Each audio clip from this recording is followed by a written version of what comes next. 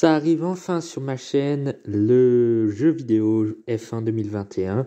J'ai fait deux courses euh, en F1 avec Antonio Giovinazzi, donc euh, ne, tenez pas compte de la vignette. Euh, bon, j'ai mis Kimi Raikkonen en manque de photos. Mais ce sera donc à Portimao avec Antonio Giovinazzi et j'ai fait ensuite une course de Formule 2 complètement folle avec la Hard Grand Prix de Théo Pourchère que je vais commenter donc dans quelques instants.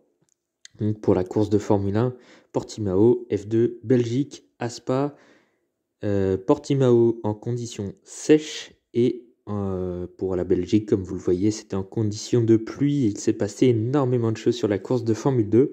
J'ai voulu commencer le, gaming aujourd'hui. Bon, la qualité des images sont pas extraordinaires, vous m'excuserez d'avance. Et puis essayer aussi de monter un petit peu le volume parce que euh, ben, le volume est pas terrible, je m'en excuse également. Bon voilà, c'est la première vidéo. La prochaine sera bien mieux.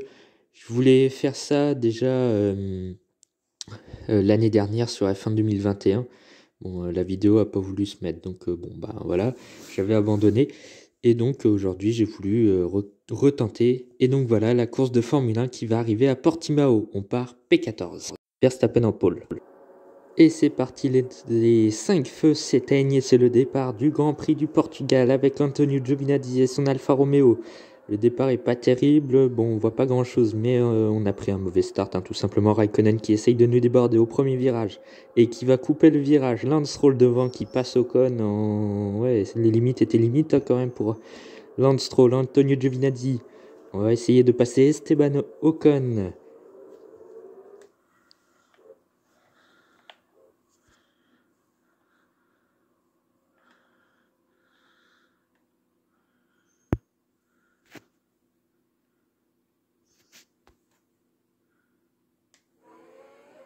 Voilà, on repart. Il y a eu un petit bug. Euh, on repart donc dans la ligne droite avec Antonio Giovinazzi, euh, toujours en 14e position. On n'a pas perdu de place. Et là, on va faire un énorme dive bomb sur Lance. Attention à ne pas, euh, prendre Tsunoda et ça passe. On passe en 13e position. Et Lance qui perd encore une position. Ocon en a profité pour passer Lance. Et nous, on a donc gagné une position sur ce tour. Sauf que Yuki Tsunoda est déjà plutôt loin euh, dans ce Grand Prix, Verstappen lui a gardé sa position euh, et sa pole position. Et Hamilton est déjà à une seconde 8 derrière Valtteri Bottas. En troisième place, derrière, on a la bataille entre Antonio Giovinazzi et Esteban Ocon, qui nous a passé, mais on l'a repassé heureusement. Euh, dans ce Grand Prix, on va arriver à la fin du premier tour et on va tout de suite passer au dernier tour. Il c'est pareil, il s'est rien passé tout simplement. Esteban Ocon là qui prend notre aspiration dans la ligne droite et qui essaye de nous faire peur. Derrière, rien n'a changé. Hein. Comme vous voyez dans le classement, rien n'a changé. Pour ça que j'ai coupé, j'ai mis du premier au, cinquième tour. J'ai donc euh, mis en version court, hein, évidemment. Ça aurait été trop long à monter, je pense, pour moi. Donc euh, voilà, euh, comme vous voyez, on est vraiment à la limite des limites de piste. Et là, Esteban Ocon à nouveau dans la ligne droite qui se rapproche de notre Alfa Romeo. On est 13e, Kimi est 16e.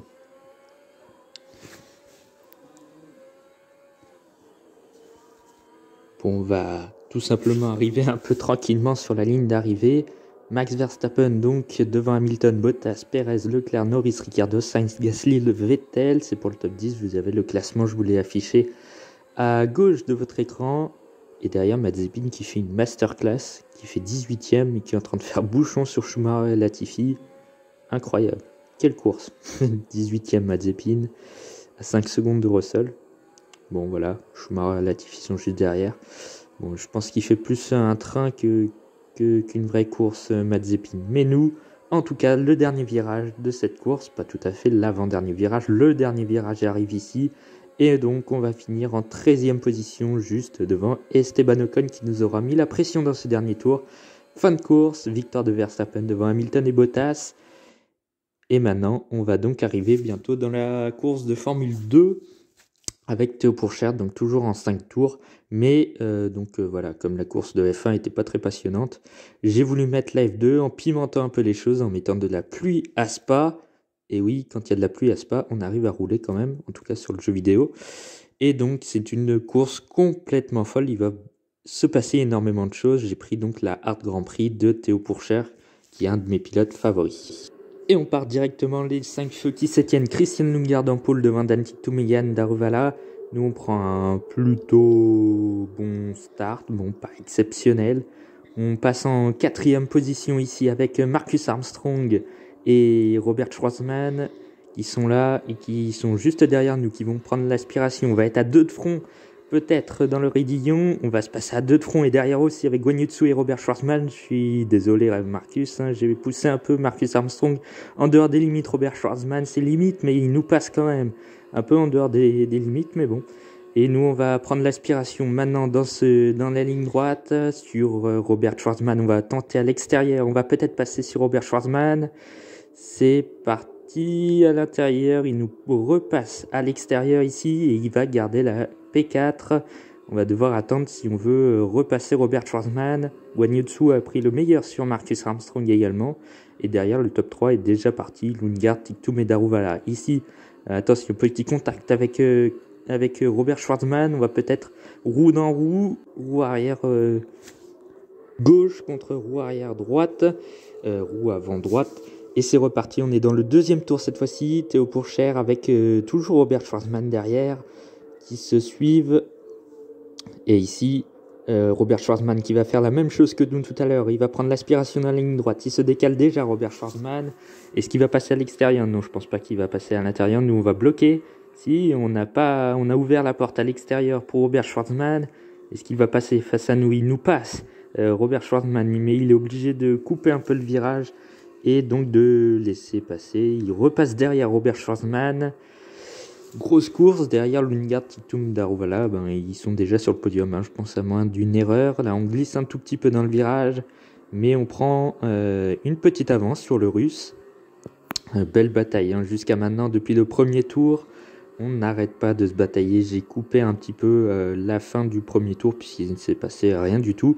Et là, Zbinala Voilà, bon bah j'ai fait, j'ai fait mon Zbinala j'ai tapé, enfin j'ai glissé surtout, et Robert Schwarzman est venu nous percuter, il a cassé son aileron, on a cassé le nôtre, mais vu du coup qu'il a cassé son aileron, ben, il est au ralenti, et du coup il ralentit également Guanyutsu et Marcus Armstrong, ce qui nous permet de revenir, de recoller, et, euh, donc on va revenir sur euh, les trois pilotes devant, Marcus Armstrong, lui, euh, non plutôt Robert Schwarzman, lui va s'arrêter, nous, on va décider de ne pas s'arrêter. Hein. On va faire euh, la course avec un, bout d'aileron en moins. Là, on est passé un peu hors des limites.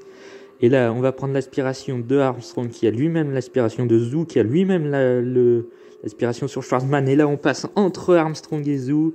Magnifique dépassement. Avec euh, là, on est en caméra embarquée avec Guanyutsu.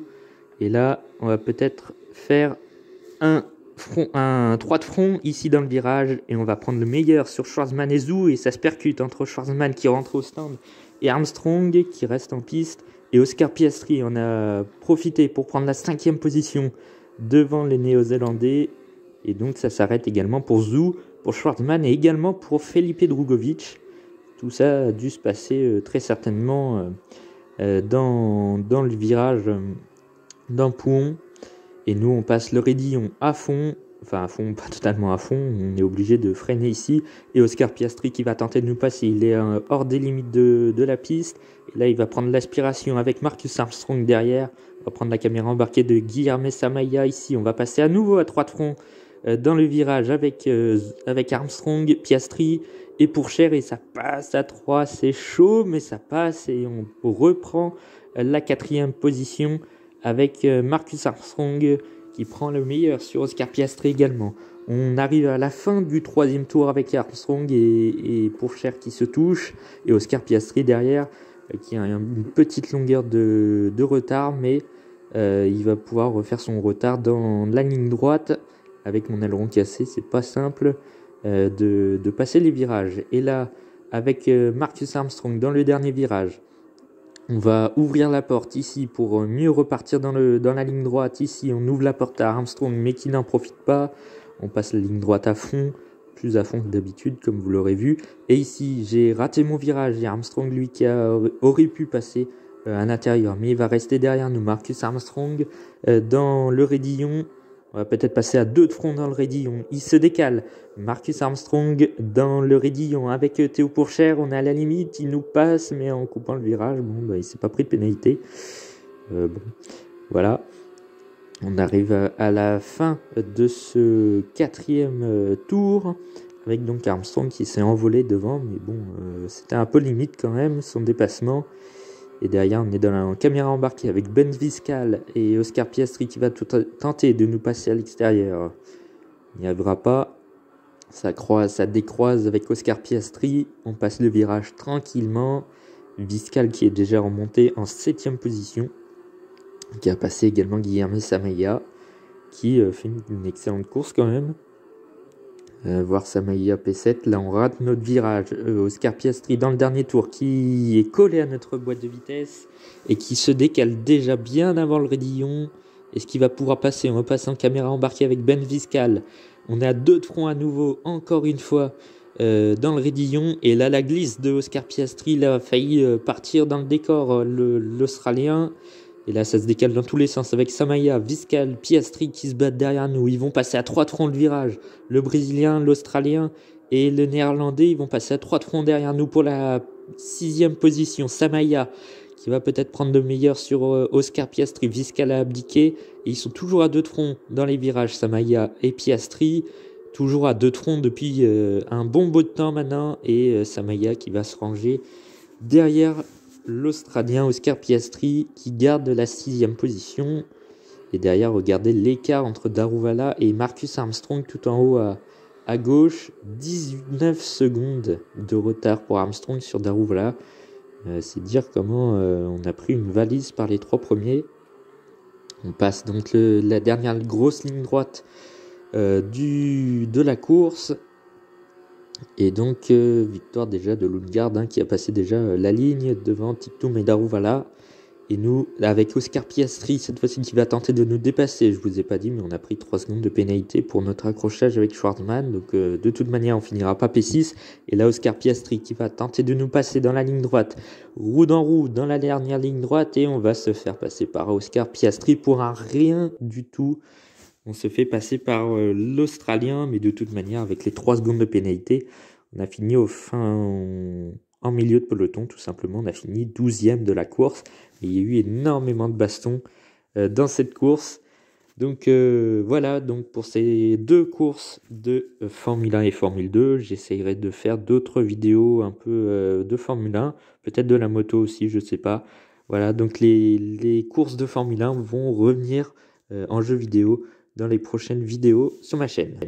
Ça fait partie de mes projets pour 2022, les, jeux, les, les vidéos, euh, vidéo Formule 1